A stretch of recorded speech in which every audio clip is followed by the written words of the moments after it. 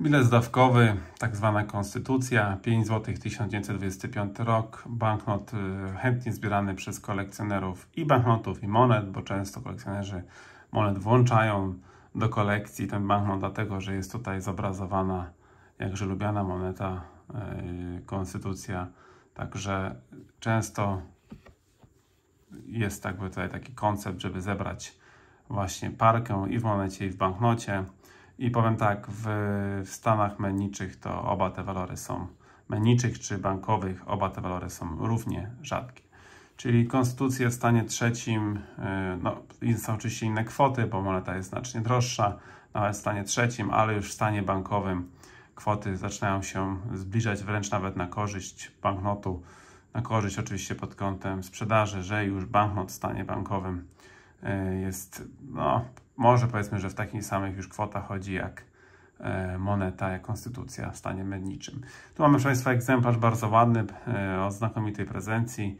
Co ciekawe, banknot był też umieszczony w, w, w albumie starego typu i posiada odciski e, na marginesach.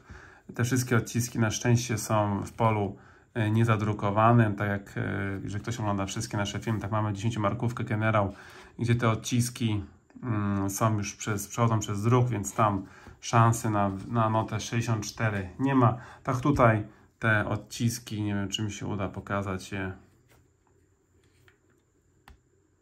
Dość, o jest teraz to dobrze widać. Widzimy, że o włos byliśmy od pola zadrukowanego. Proszę Państwa, to jest właśnie magia gradingu. Gdybyśmy, gdyby ta, ta kreseczka, co tutaj idzie. O, teraz ją dobrze. Ta kreseczka otarła się o ten czubeczek tego pola zdrukowanego. Mielibyśmy notę prawdopodobnie, albo z całą pewnością 58.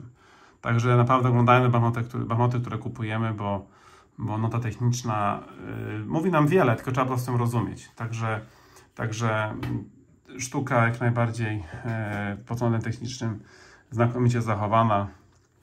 Druga najwyższa nota są tylko egzemplarze 64 EPQ i jedna chyba sztuka w 66 EPQ. E, także dla tych, którzy zbierają najwyższe noty, to już ta konstytucja śmiało e, jest pozycją, na którą trzeba będzie zapolować.